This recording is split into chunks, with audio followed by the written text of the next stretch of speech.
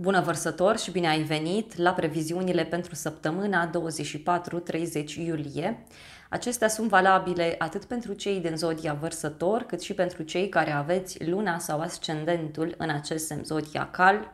Iar dacă rezonezi cu previziunile, te invit cu drag și la o analiză cu mai multe detalii, la partea bonus. Apasă butonul alătură-te și acolo ai toate informațiile necesare. Chiar ai acces cu o săptămână înainte Um, și îți spune exact în filmare pentru fiecare zi ce se petrece, aproape jumătate de oră de filmare în care discutăm mai lejer. Da? Dragi vărsători, săptămâna asta e despre schimbări pentru voi. Este o săptămână importantă. Uranus, guvernatorul vostru, se ceartă cu Mercur. Da, și nu-i ceva rău. Nu. Vedeți voi, este un moment în care primiți niște vești legate de un copil, de o afacere, de o poveste de iubire. Poate să fie ceva legat de clienții voștri, de oamenii din jurul vostru, ceva legat de acte pentru alții. Și acolo voi veți avea, veți avea o reacție ciudată. E ca și cum vi se schimbă așa tot felul de lucruri legate de casa voastră, de familia voastră. Primiți un apel telefonic și spuneți gata, mă mut în partea cealaltă sau trebuie să plec. Uh, pe de altă parte, vedeți că pot apărea mici mari conflicte la începutul săptămânii în relația cu ceilalți, în general vorbim ceilalți, în mod special copii, uh, pe partea aceasta de iubire, parteneri de afaceri, deci aici aș merge foarte, foarte mult. Pot fi și niște discuții care țin de uh, o sumă de bani, o moștenire, în partea o bancă, deci pot fi și astfel de lucruri. Pentru că pe acolo e o perioadă ciudată. Apoi, tot această săptămână vine cu iubire pentru tine și dragostea asta bate la ușă. Da? Printr-un client, printr-o colaborare, prin ceilalți.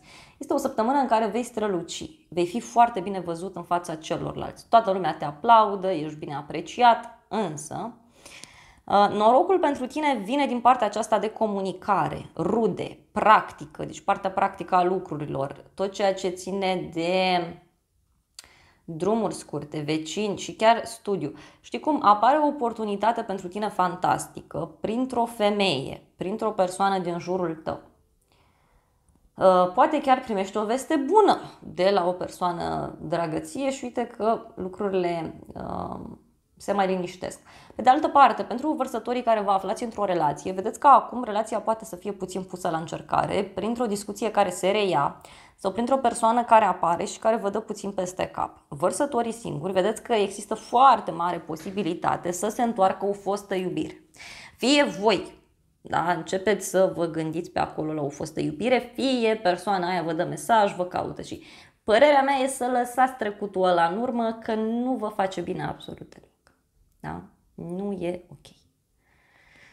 A, da. Apoi, Mercur intră în Fecioară. Și începând cu 29 iulie și toată luna august și prin septembrie, pentru că Mercur o să și retrogradeze în august, uh, vedeți voi, vocea voastră va fi foarte puternică. Veți pune lucrurilor pe nume, veți spune totul sau nimic.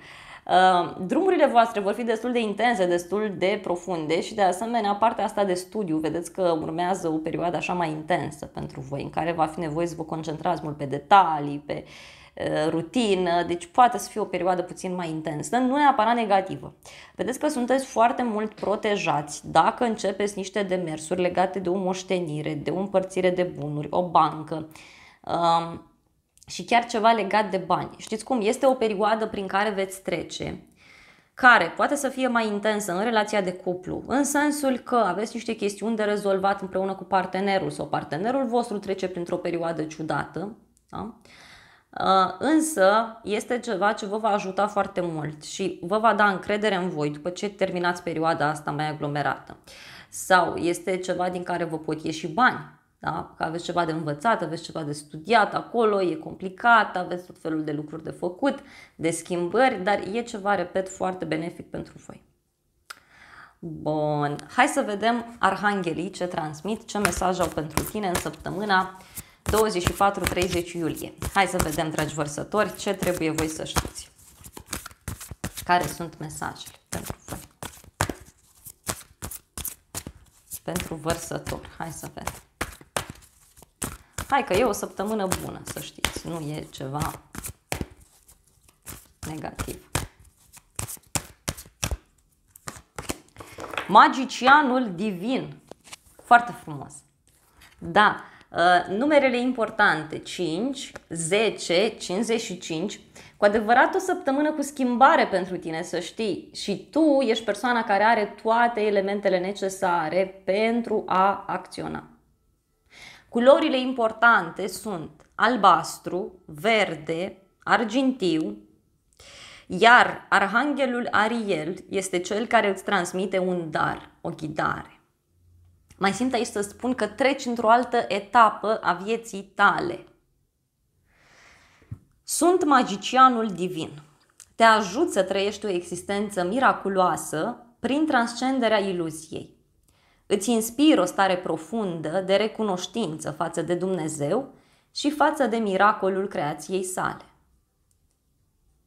Cu alte cuvinte, vei reuși să vezi ce este real și ce este iluzie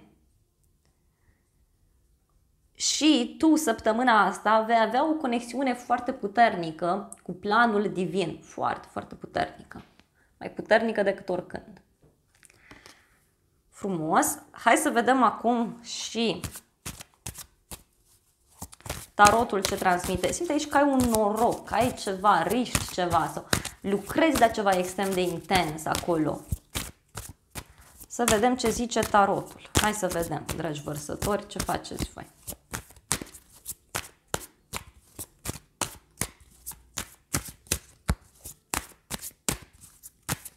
Ce trebuie să cunoașteți? Ok, a început citirea. Asul de bâte, luna pentru tine, 9 de spade, turnul, eremitul, regina de cupe, 7 de bâte și regina de bâte. Regina de spade, împăratul, 10 de spade. Wow, dragi vărsători. Aici voi aveți de luat o decizie foarte importantă. Foarte importantă. Privind o poziție pe care o ocupi la muncă, privind o persoană cu autoritate din casa ta, din familia ta. Dar văd aici o parte masculină care va lua o decizie radicală săptămâna asta.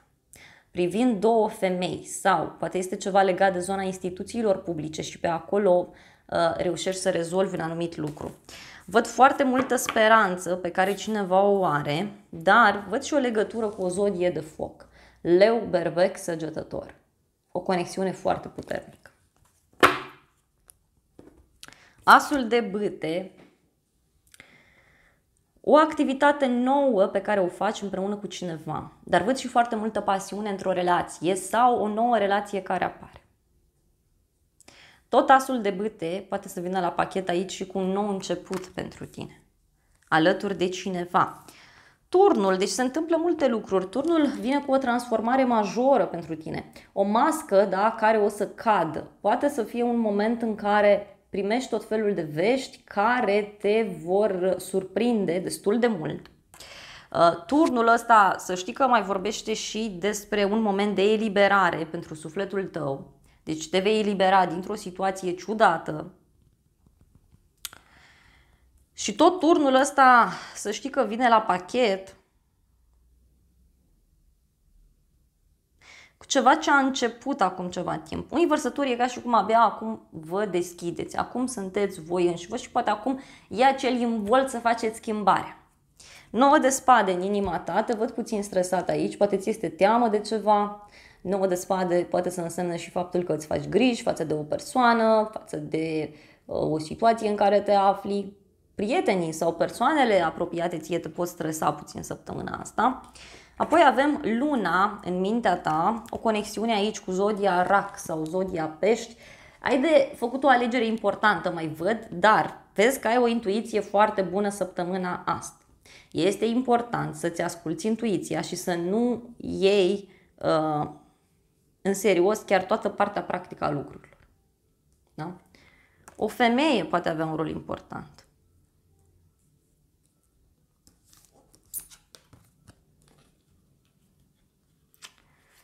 Ceva ce e ușor necunoscut pentru tine. Eremitul aici, o conexiune cu zodia fecioară pentru unii, dar văd o legătură cu o persoană retrasă, înțeleaptă, o persoană matură pe care tu te poți baza.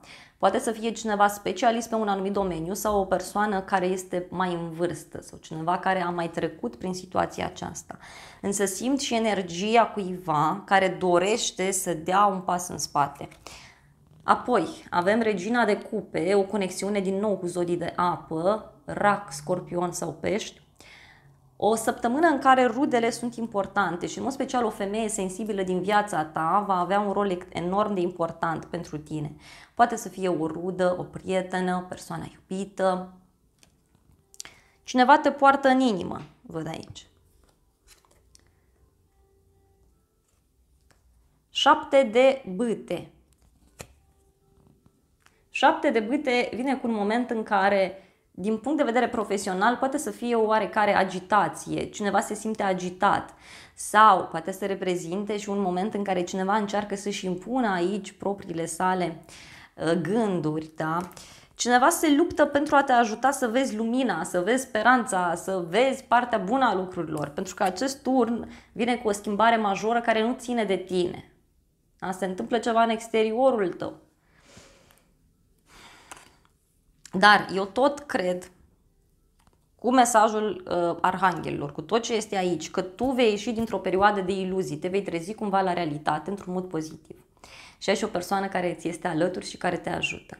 Dragii mei vărsători, acestea au fost previziunile generale pentru următoarea săptămână. Eu îți mulțumesc pentru atenție, te îmbrățișez cu mare drag, iar dacă ai rezonat cu mesajele și dorești o analiză cu mai multe detalii, te invit cu drag și la partea bonus, acolo unde vei afla ce se întâmplă cu o săptămână înainte pentru fiecare zi, abordăm lucrurile mult mai relaxat, clarificăm toate cărțile și de asemenea acolo ai acces și la previziunile bonus pentru iulie, pentru august, pentru anul 2023, pentru toate zodiile și pentru toate citirile care au apărut până acum, dar și care vor mai apărea. Te îmbrățișez cu drag, îți mulțumesc și pentru like-uri, pentru comentarii, pentru toate mesajele frumoase. Îți mulțumesc pentru că te-ai abonat acestui canal. Este o funcție gratuită pentru toți și de asemenea te îmbrățișez cu mare drag și îți doresc o săptămână cât mai frumoasă în care să vezi cu adevărat cum stau lucrurile.